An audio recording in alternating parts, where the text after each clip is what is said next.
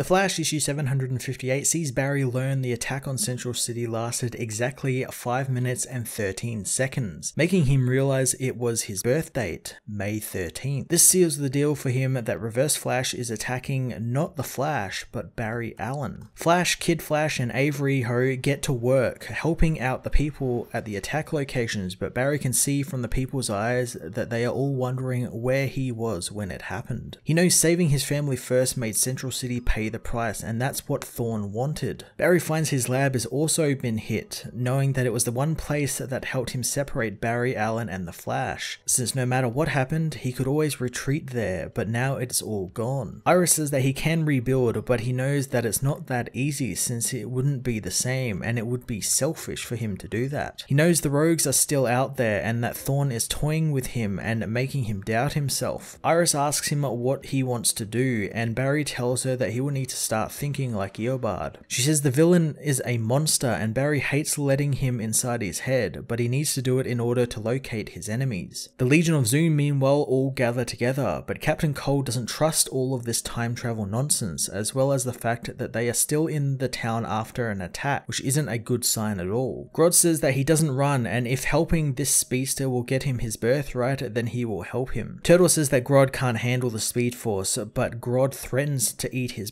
brains, telling him one day he will bow to him. Trickster calms them all down, knowing Reverse Flash keeps them in the dark, since he pulled them all from across time, and apparently they are just to sit there and wait, but he knows that they should be out having fun, as the Reverse Flash returns, grabbing the villain and telling him that patience is a virtue. Cold reassures him that they all know he's the boss, but he wants to know what they will do when the Flash finds them. Eobard says the Flash will indeed find them, and it's not a matter of if, it's a matter of when, but luckily he's got a secret weapon. The Flash family meanwhile get ready to go into hiding, but Iris knows it's more of a plan to not underestimate Thawne. Barry knows that the family will be the next target, so they need to get out of the city. He knows Thawne has recruited a new Legion of Zoom since they were attacking the city, and Wallace points out that the Captain Cold and Golden Glider are in their old costumes, making him think that they are from different eras in the past. Avery tells him that they have to leave, so the family, including Iris, take off as Barry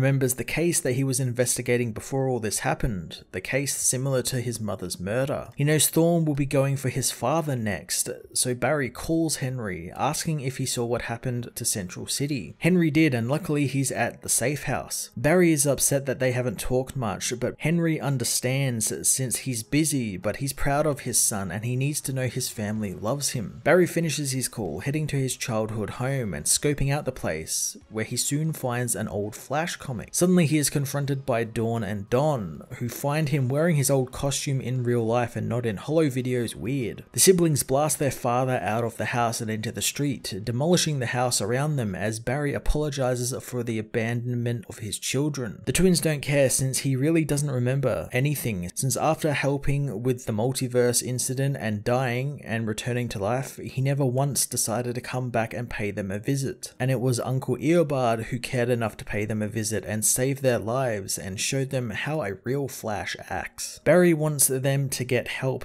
but the kids say they already have help as the Legion of Zoom surround Flash, beating him down until Dawn reminds them all that he is needed alive. Reverse Flash arrives, asking if Barry can see the finish line ahead of him. He tells the villains that when he came back from the 25th century, he tried to be the Flash and wore the costume and tried to run in his shoes, but Barry's presence was still felt and it was impossible to replace a legend. Eobard knows that it's about time that changed as he begins vibrating, turning himself yellow and diving into Barry's body, taking control of it. Eobard says he's no longer the reverse Flash, but the Flash. Cold says that this wasn't part of the deal and they were promised knowledge of the future. Eobard reassures them that they will get that and more, but first here's a family to take care of. Elsewhere, Barry finds himself in an unknown void, knowing this isn't the Speed Force. Suddenly he is attacked by something fast as the zombified corpses of Max Mercury and Jesse Quick say he's got a lot to answer for and he should run. The Flash issue 758 was a damn good continuation of the Legion of Zoom storyline that ended with two really amazing cliffhangers. I'm loving how appropriately fast paced this story is, with Barry kind of being kept on his toes the whole issue and whole run of this storyline by the villains as well as Reverse Flash's plans, with him having to think like the villain, but also the villain will have probably anticipated that, so Barry has to just kind of keep moving through the paces. The shocking ending with Eobard literally possessing Barry and pushing him out of his own body was so great, and it led to an even bigger cliffhanger with Max Mercury and Jesse Quick. Characters I'm excited to see are returning, even if it's in speed zombie form. Even though this isn't Joshua Williamson's final Flash story, it definitely feels like it's culminating to a finale, and I guess it kind of is since this is going to feed into the finish line story a little later on this year. But if they were to end this after this arc, I'd feel like we'd had accomplished so much since this run has been going from strength to strength ever since the beginning of Rebirth, and this feels like a culmination of all of that. I'm going to give this issue a 9 out of 10.